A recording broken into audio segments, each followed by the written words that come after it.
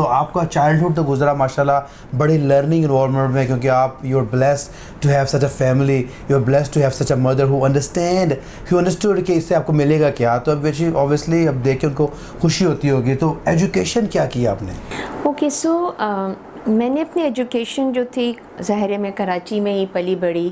تو جب میں اپنے کالج میں سینٹ جوزف میں پہنچی، تو کیونکہ میں بڑی تھی، تو مجھے یہ ہوا کہ جی بڑی ہے شادی کا وقت آ گیا ہے۔ میں I always wanted to become a doctor اور مجھے بہت شوق تھا ڈاکٹر بننے کا۔ گھر کے باقی افراد میں سے بہت سے بچے بچیاں جو ہے نا وہ ڈاکٹر بن گئے۔ لیکن جب میری شادی ہوئی اور انفارچونیٹلی وہ شادی جو تھی اٹ ڈڈ ناٹ ورک تو جب میں واپس اپنے گھر آئی تو میرے والد نے اب یہ اس وقت کی بات ہے جب words like empowerment words like human rights words like عورتوں کے حقوق یہ سب چیزیں نہیں ہوتی تھیں۔ یو نو اس پر صرف یہ ہوتا تھا۔ او ہو یہ تو واپس آ گئی ہے گھر، بچہ بھی ہے۔ تو اس طرح کی، لیکن میرے والد نے مجھے اس وقت بھی پوچھا کہ do you want to continue with your studies تو میں کہ نہیں ڈیڈی، آئے، میں اپنا کام خود کرنا چاہتی ہوں۔ میں کچھ کروں گی اور میں اپنے پاؤں پہ کھڑی ہوں گی اور میں اپنے بچوں کے لیے کام کروں گی۔ سو ڈیٹ سے فائن اب یہ چیز جو تھی وہ بہت ماں باپ ایسے نہیں کرتے۔ وہ کہتے ہیں کہ بس فٹافٹ اب جو ہے نا شادی اور کرو اور اپنے گھروں کو فارغ کریں۔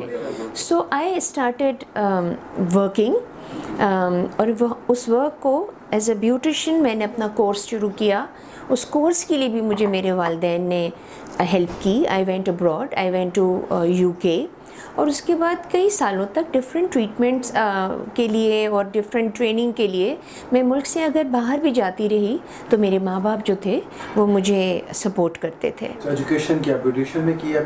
جی so I did my inter which is like twelfth grade اور اس کے بعد میں نے اپنی کاسمیٹولوجی کی ایستھیٹیشین کے کورس کیے ہیئر ڈریسنگ کے کورسز کیے ڈفرینٹ بیوٹی کے بورڈ سے ایگزامز وغیرہ دیے۔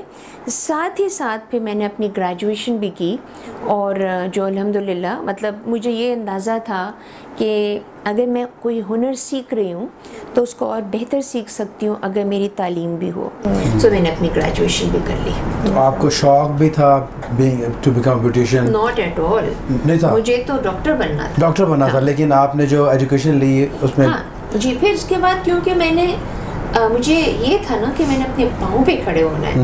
تو پھر مجھے اگر میں ڈاکٹری کی طرف جاتی تو وہ ایک بہت لمبا ہوتا ہے۔ تو پھر یہ کورسز اور یہ بھی اتفاق کی بات تھی۔ ڈفرینٹ کالجز اور یونیورسٹیز اور ٹریننگ انسٹیٹیوٹس میں لیٹر لکھے۔ اس زمانے میں لیٹر لکھتے تھے کوئی ای میل نہیں ہوتا تھا کوئی۔ تو پھر جو پہلا جواب مجھے واپس آیا وہ ایک بیوٹی اسکول کا تھا لنڈن میں۔ سو آئی وینٹ ابراڈ تو آپ نے وہاں سے کیا بیوٹی کورس اور شروع کیا سفر ڈپلیکس کا؟ واپس آ کر۔ ڈپلیکس جب میں واپس آئی تو میرے والدین نے اسپیشلی مائی فادر انہوں نے ایک پورا سیلو میرے لیے سیٹ کیا ہوا تھا۔ اور جب میں گئی تو میں نے کہا ڈیڈی یہ کیا ہے؟ ڈیڈی نے کہا یہ جہاں پہ میں بال کٹوانے جاتا ہوں نا وہ ایسے ہی ہے۔